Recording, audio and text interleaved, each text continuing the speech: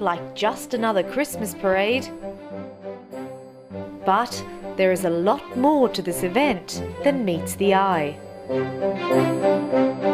reason why we started doing this festival back in 2008 was because of the economy.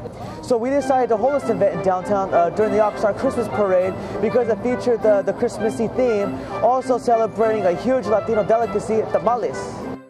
And hot and fresh tamales of every kind were chowed down at the event as chefs prepared fillings from the traditional meats to the not so traditional seafood variety. Hundreds gathered in the heart of downtown Oxnard to get a taste of the event. Meanwhile, working tirelessly behind the scenes were Oxnard City Corps volunteers. And while the youth played a key role in setting up and cleaning up after the event, this year, education was also on the agenda. The Oxnard City Corps Tech booth is the booth that we're actually at right now.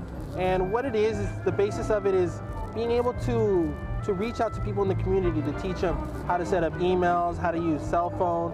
Um, the basis just make sure that the community is aware of modern tools for modern living.